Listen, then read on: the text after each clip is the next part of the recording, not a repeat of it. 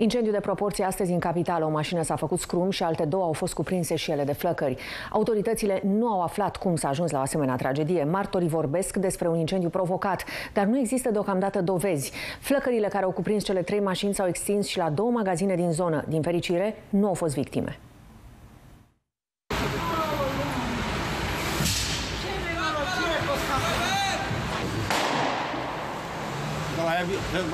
La dumneavoastră, parte.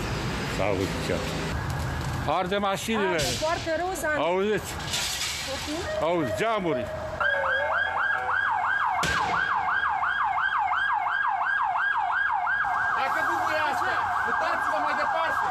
Era ora 7 și 20 de minute dimineața când o mașină a fost cuprinsă de flăcări. Oamenii care locuiesc în blocurile de pe Bulevardul Ferdinand I au fost treziți de o explozie puternică. Dar nu vine tu fiți ăștia, doamne, nu dai seama, dar o jumătate de oră, de unde trebuie să vină ăștia? Și mai e o mașină care ar... Da, acum a început să sară. Da, și una, două acolo care... Mai sunt o dată, dar ăștia văd că dorm pe ei. Martorii au sunat disperați la 112, dar pompierii nu s-au grăbit să ajungă. Mai bine de jumătate de oră mașinile au ars fără ca cineva să intervină. Oamenii au vrut să folosească un extintor, dar le-a fost frică de explozie. Flăcările au ajuns și la două magazine din apropiere. Cauza care a dus la acest incendiu este încă necunoscută. Există însă două ipoteze.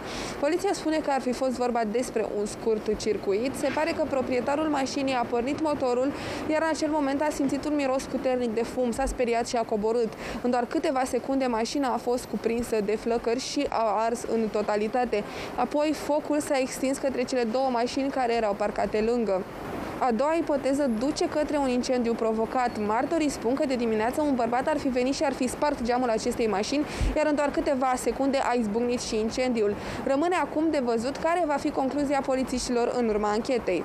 O tragedie asemănătoare a avut loc în urmă cu doar câteva zile tot în capitală. Șapte mașini au ars complet după ce un adolescent în vârstă de 16 ani a decis să se răzbune pe un prieten care l-a jignit.